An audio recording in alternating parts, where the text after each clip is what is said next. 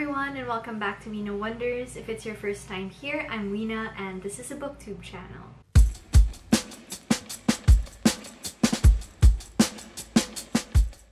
Um, three years ago, I filmed a video that was called a creative writing masters like is it worth it or not? And I thought that I would do this video just because obviously our learning situation has now changed and the entire experience of taking your masters now is a little bit different than it was all those years ago and I figured that a lot of you guys might be interested in taking this time now to kind of uh, upskill, to kind of pursue the things that you want and in case you're thinking about that, I thought that this might be helpful for you guys just to kind of get a lay of the land and what it's like now that we've sort of shifted to this purely online learning medium. So I think I will start with the cons because chances are if you guys are here, you will probably be thinking of all of these things already and I will be giving you some of my thoughts.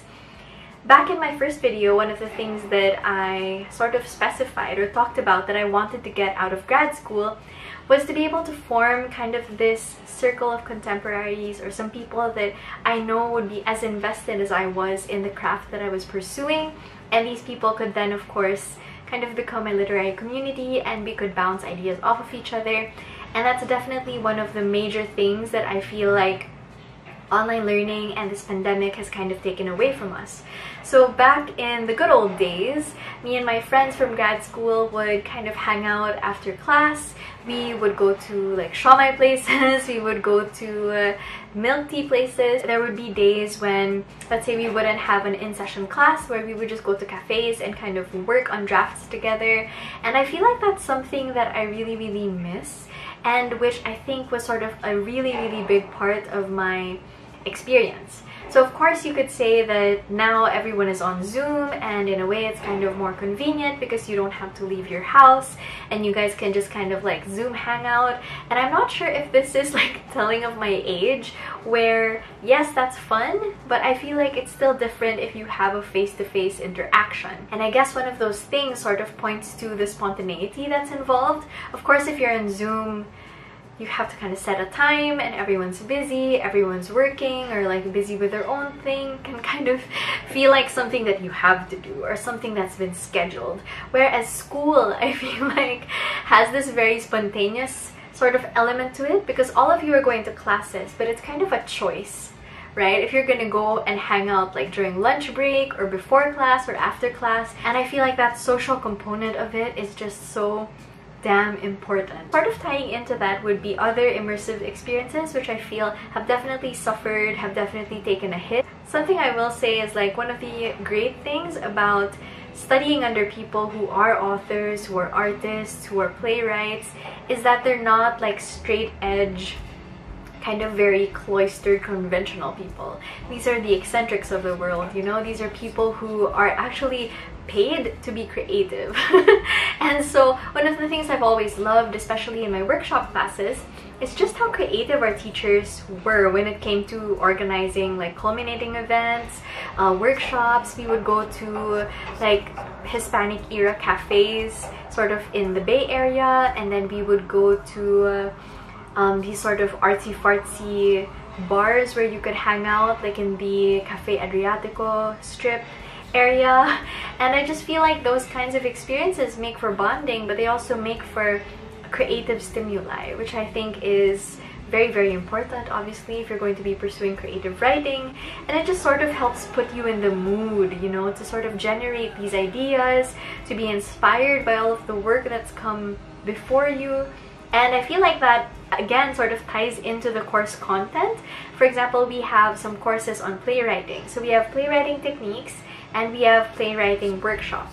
And in both, we did a couple of sessions where we would forego the traditional sort of classroom setting and we would go out and actually watch plays. And for someone like me who has like no background whatsoever in playwriting except for a couple of musical theater workshops that I did as a kid, that was super duper helpful for me because it sort of exposed me to that very visceral part of playwriting, which is kind of different than watching it online. Because honestly if you're watching it online or you're watching it through a screen then the best sort of comparative medium for that would be something like documentary film, something like short film, short movies, filmmaking, so it's a little bit different. And of course, when we are in the academic setting, we always, always rely on research, we rely on credible literary criticism to sort of be the backbone of everything that we make and everything that we create, all the things that we use to sort of formulate our well-informed opinions.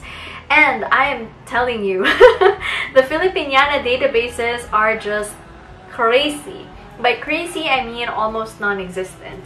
And even if you do find something, it's not well documented. It's not well scanned, it's incomplete, it's not in a PDF format that you'll be able to copy paste very easily and mostly the stuff that's online and available through these international journal subscriptions that the university has like JSTOR, GVRL, the Princeton Encyclopedia of Poetics all of that is sort of filtered through this veneer that honestly is not very Filipino-centric because it is international.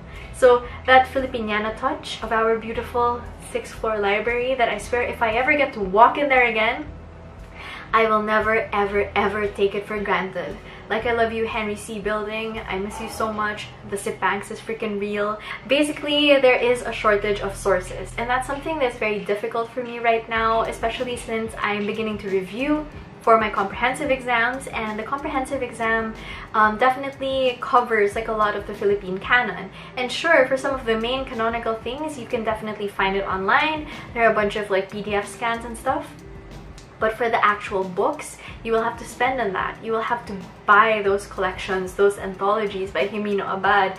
You will have to purchase those things out of pocket. And that's something that is just a little bit crazy for me, especially because I don't really see myself using those for anything else except study later on. And I guess you could split a copy with some friends, but then again, uh, if all of you guys need it at the same time, you don't have that photocopy power goodness that you had in the good old days. And last but not the least, I want to talk about scholarships. So like I mentioned in my last video, I am a 100% scholar, at De La Salle, so thank you so much, La Salle. Thank you forever for that. Um, and right now, it's kind of sad because they aren't accepting any new applicants for scholarships.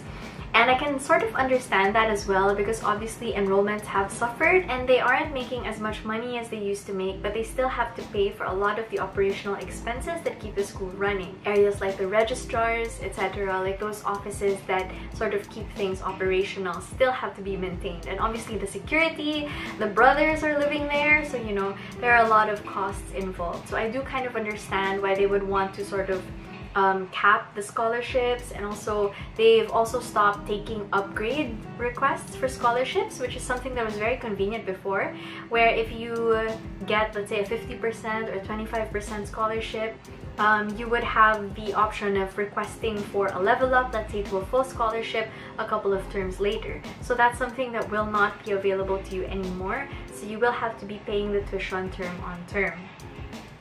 That said, I do think that there's also a reduction of costs though. So I checked out the university tuition table and I will leave a link in the description box because I'm sure you guys will definitely find that interesting. And right now, sorry, it's on the screen, so let me just check.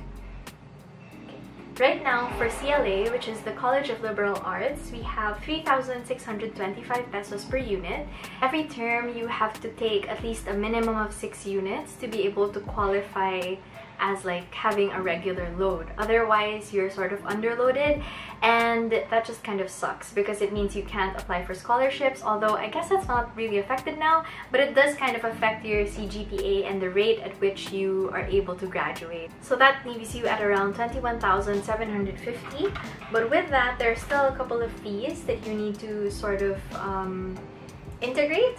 So no more lab fees, thank God. But what they do have now is a research supervision fee.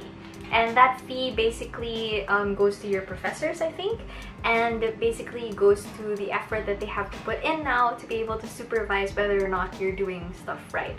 So that's around 5,745 pesos. So from the previous amount, that was around like 21,000.